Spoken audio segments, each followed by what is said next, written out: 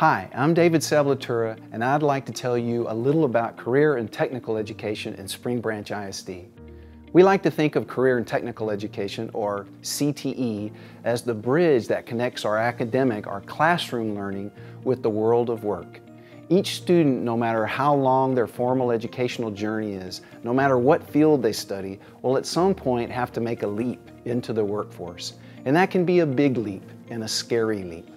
But what if students had opportunities along the way to learn about the professions they were interested in, had the chance to connect their classroom learning with real-world experiences? Would that help them know more about themselves, what the world of work has to offer, and make better choices? We think so. CTE's goal is to help students make an informed, confident, well-prepared for leap into the workforce whenever they're ready. We do this by offering programs of study in a variety of fields that students are interested in and for which jobs are available. That's important. Some programs are geared more to students who want to go to college and some to students who want to graduate, get certified, and go directly into the workforce.